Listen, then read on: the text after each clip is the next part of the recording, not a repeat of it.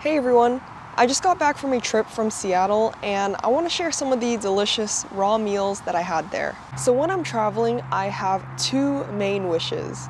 One is that my friends have a very smooth sailing experience and that we all just have a really good time together. Two, I really enjoy visiting the local butcheries and trying raw meat dishes wherever we go. And the thing is, finding raw meat everywhere we go can sometimes be an obstacle, which makes finding it so much more satisfying. Also, a little bit of a disclaimer, I tried to take clips of everything that I ate. However, I still feel a little awkward filming in front of my friends, so some of the clips might be like very short or blurry. Um, yeah, just wanted to give you a heads up. So starting off, right after we landed off the plane, I walked over to a nearby studio for a chill practice session. The walk was about five miles and the sun was out and having sat in a plane for a couple hours, it felt really nice to feel the sun on my skin and I was super grateful that we were able to land early enough to be able to still soak up the sun, be outside, and enjoy the day. Afterwards, my friends wanted to hit up a steakhouse, and my friends are all about the taste, artistry, and dining experience when it comes to food. And so when I go out with them, I really focus on enjoying my time with them, enjoying their company. And if there's nothing on the menu for me to eat, like there's no raw meat dishes, I'm perfectly okay with just not eating there and just holding off until I'm able to find some high quality raw meat, raw eggs, or raw milk elsewhere. And the truth is, finding the optimal high quality raw meat dish at a restaurant is rare.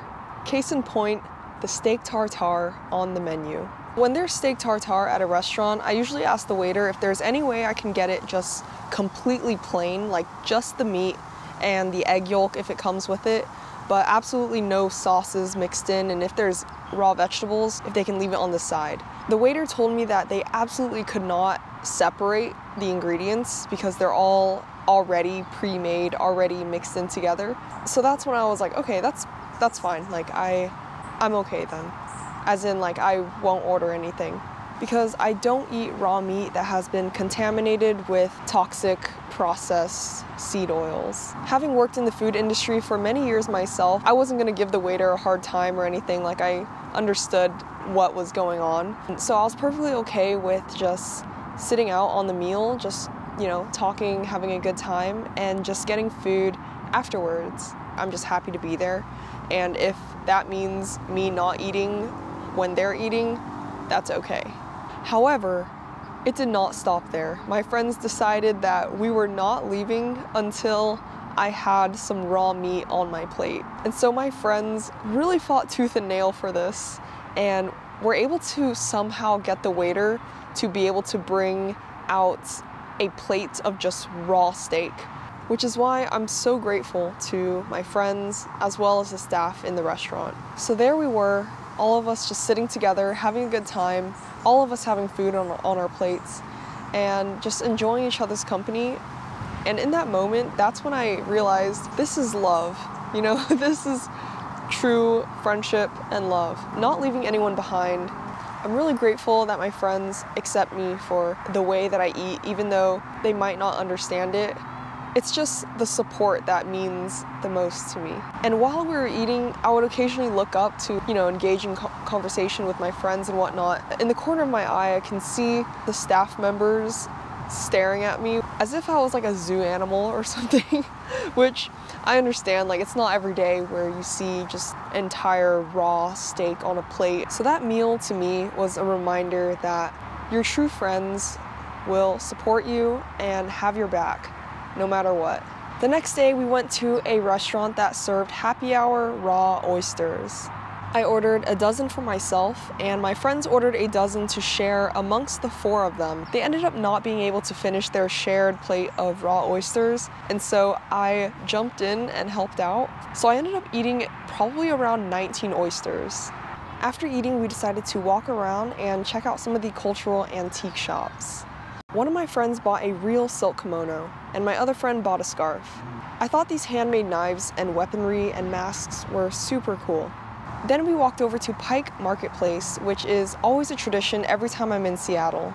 My first stop is always the little butchery that's located out in the front. The meat here never disappoints. I always get a bone-in ribeye, however, this time I saw this New York strip piece that was just practically calling my name. Afterwards, I set out on a little side quest to try to find some raw milk, and lo and behold, we were able to find some grass-fed raw goat's milk. I was super excited to try some, so I bought a tiny bottle for myself. I really, really enjoyed it. We continued our adventure around Seattle, and when it got to dinner time, we all got pretty hungry. So we stopped by a restaurant. I believe it was called the Pink Door or something like that. It was an Italian restaurant that was located behind a pink door.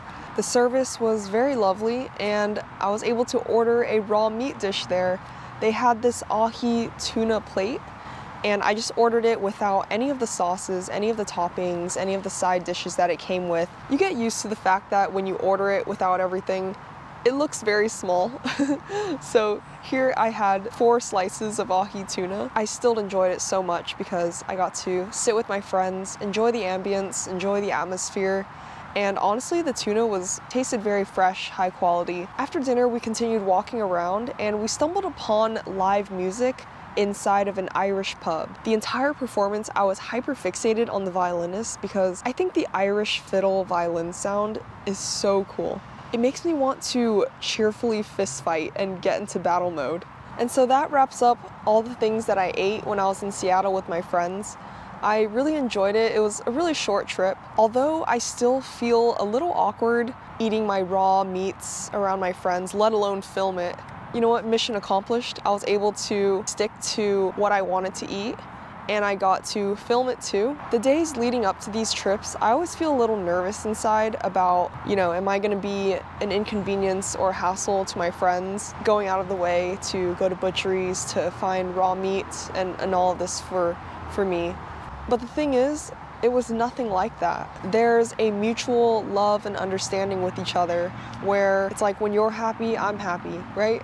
And I think to them, me being comfortable in my own skin and eating the things I want to eat is what makes them happy too. That's something that I learned this trip and I'm super grateful for that. Thank you for tuning in to today's video and I'll see you in the next vlog. Peace.